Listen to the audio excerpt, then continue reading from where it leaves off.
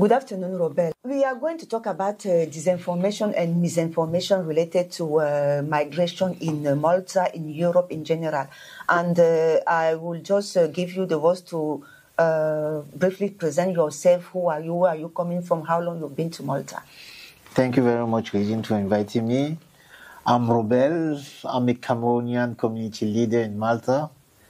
I've been in Malta for almost three years now, working on the transport as a bus driver now. So I'm in contact with a lot of people every single day. Thank you very much.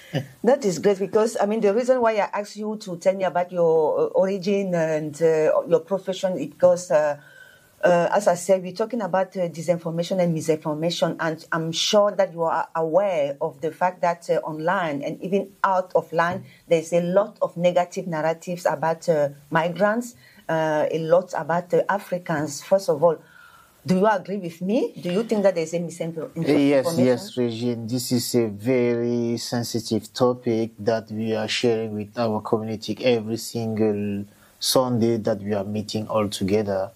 And I'm totally agree with you. So thank you very much for giving me the opportunity to talk about this disinformation mm-hmm. concerning all our brothers and sisters who are living in Malta as foreigners and immigrants. Yes, and uh, so uh, many things have said against uh, migrants, against uh, foreigners in general.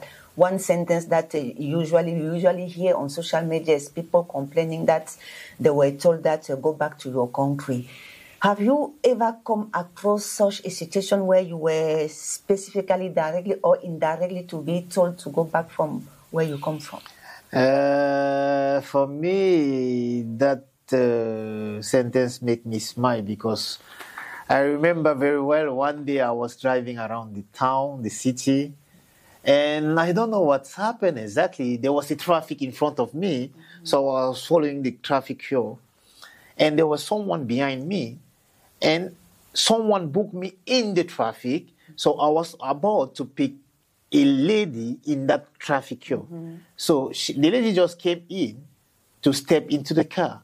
And the guy behind me, by the fact that there was a traffic, I couldn't even find a place to park the car to pick the lady. Mm-hmm. So I was standing and following the traffic. There was no way to move forward.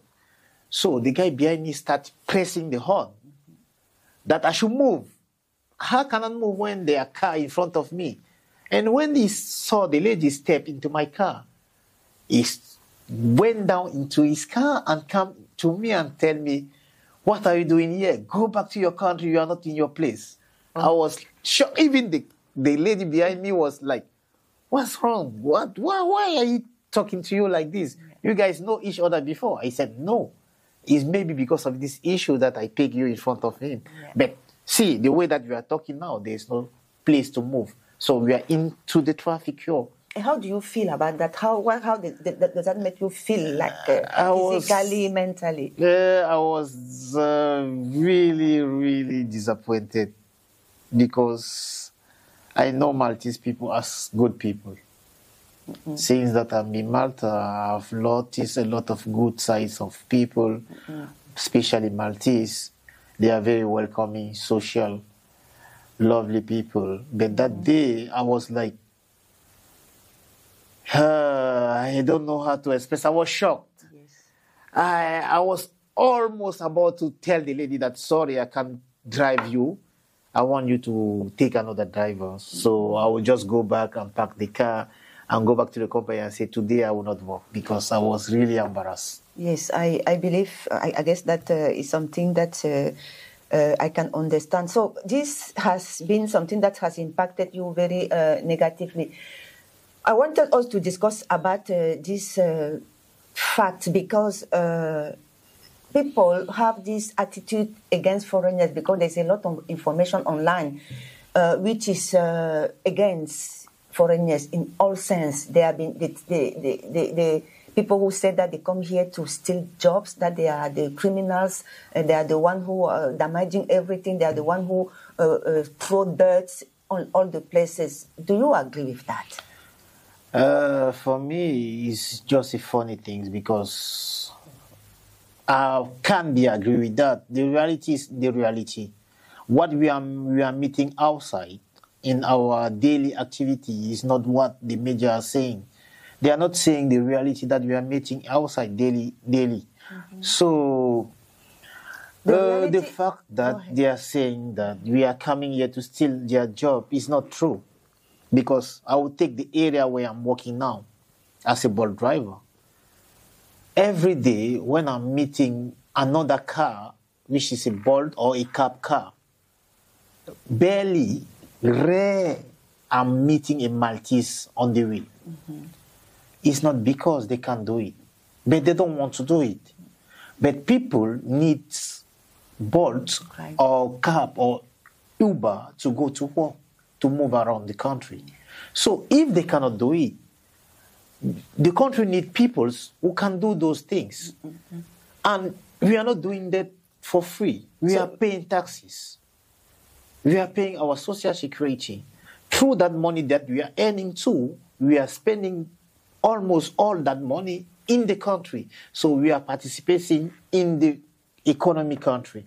So for me, that things, for sure, we are hearing that a lot from even social media, medias, online, everywhere, even in the daily activity, people are telling us to the face. Mm-hmm. But for me, it's not fair, it's not good because the government is not doing anything concerning that. Yes, because you, you're actually doing the job that uh, the, the locals are not, are not yes. doing, they don't want to do anymore. Yes, that's the one sector. If yeah. I want to talk about another sector, cleaning Malta. Mm-hmm. When we are walking around the town or the city or the country, most of the people who are doing the cleaning in Malta are foreigners. Very rare you will meet a Maltese. Very rare. If you meet even one of them, they are on the wheel driving maybe the truck. But those who are behind running to carry the trash, throwing inside, carrying this, running after, under the rain, the cold, the sun, are foreigners.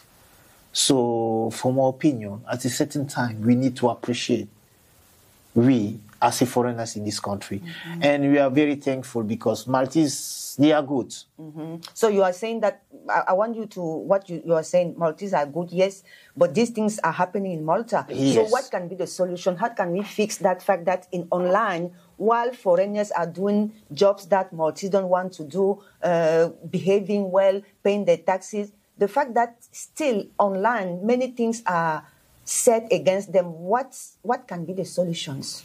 To stop that? Mm, in my opinion, uh, I can only suggest that the government should take more action concerning the, those kind of situation, and the media also has to play their own part mm-hmm. because the way the media are communicating with the population, uh, for me, is like a kind of giving the wrong. Inf- the wrong way of inform inform people because for example if an African man, especially a black man, is doing something, they will say an African black man did something, which is normal, is good. I'm not against that.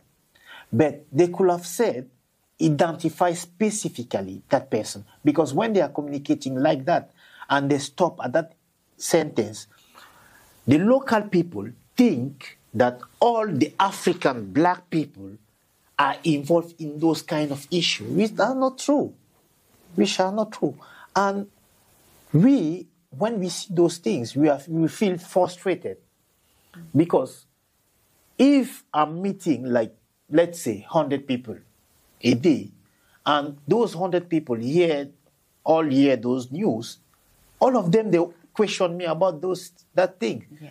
Even, the, even though I'm not aware of that issue, I will, found out. I, will, I will found out at that situation because all of them they will say your brother, your brother, your brother, your brother, this, this, this, this, because I'm an African, I'm a black man, but I don't even know the guy. I don't even know his country. I don't even know where he's from. So the fact that I'm finding myself identified mm-hmm.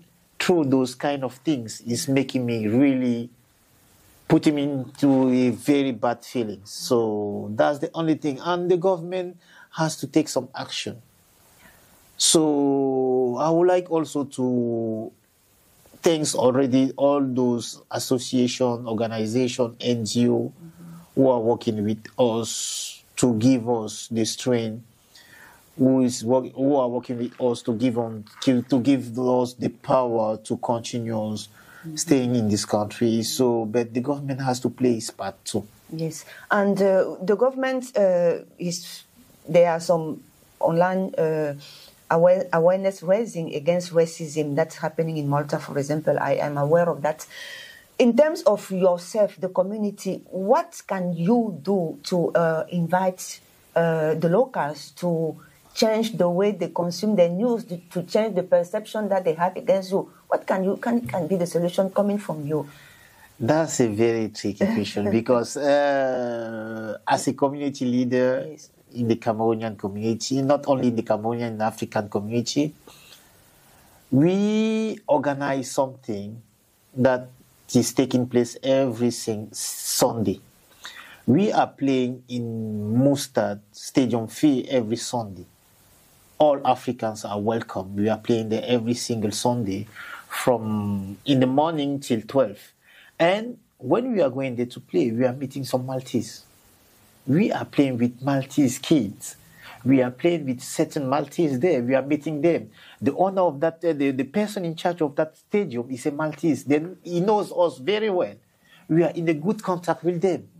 So, uh, I think that one of a step that the government has to take in place to put a connection between communities and the local people. Because for us it's very important to integrate ourselves. And we don't want to continue to be frustrated. That's why we are trying to implement and innovate, bringing out some uh, community activity so that we can match with the local people, try to understand them, try to learn their culture, try to let them understand us, and to, to learn our culture too. Because we are all women. We are we are all living in this in the head. So that's my opinion about that. Thank you very much. We are going to close this talk now. I just wanted you to say something about the fact that we can all be foreigners one day. Nothing. Yeah. We don't. We, we never know that sometime, some one day, a war of any, uh, you know, yes, uh, God uh, uh, solution can. What will you will be your message to to people who attack foreigners like are you aware that maybe it can happen to you also to, to go abroad? For me, those people, uh, as I said before, Malta is, a, very welcome country. It's a very social place. It's a lovely place. They are very nice people in this country. That's why generally I don't want to talk about the 5% of the negativity. I prefer to focus on the 95% that I'm meeting daily. So those 5%, I will tell them that Today you are in Malta as a local, but you are taking your holidays, you are going abroad to other people, country too. Imagine yourself finding yourself in Italy, which is very close to Malta, and an Italian is telling you, you as a Maltese, go back to your country. How are you going to feel? Whereas you are going there for holiday, for only maybe two days or three week, uh, one week, how are you going to feel? you will not feel welcome.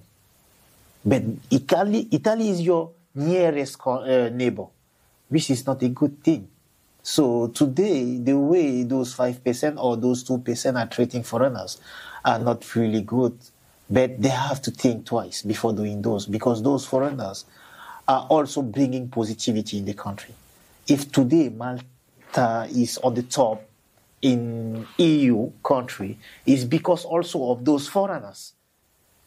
People are not just coming in Malta only for Maltese. No, because they know that in Malta they will meet Africans from Cameroon, Ghana, uh, Nigerian. They will meet Serbians. They will meet uh, Macedonians.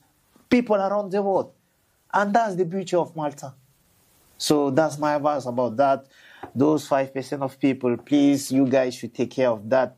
But attitude is not good.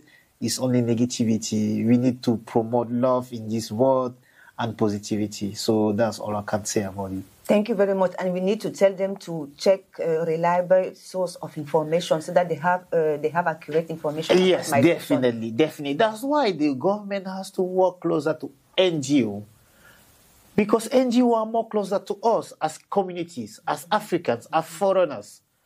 All foreigners community has an NGO who is taking care of them. So the government has to put in place, maybe, I don't know, an office that can be in the daily contact with those NGO who, who are in contact with us as a community, as a foreigners in this country. So it will be very helpful for us. So we can also report those kind of things. Because me today, as a foreigner in Malta, if something bad happens to me, I don't know where to go. I will go to the police. But the police will tell me to open the case. Who am I going to take the money to open the case? I will not open the case fine, I will let it go. But tomorrow it will happen to, to someone else. It might not be an African, it might be someone else, European. Where is it going to report? So we don't know where to report. So it's very important for the government to open a place where at least when we are going to report to those NGO, the NGO also can take the place to those office and the government can take action. So that's I can, what I can say about those things.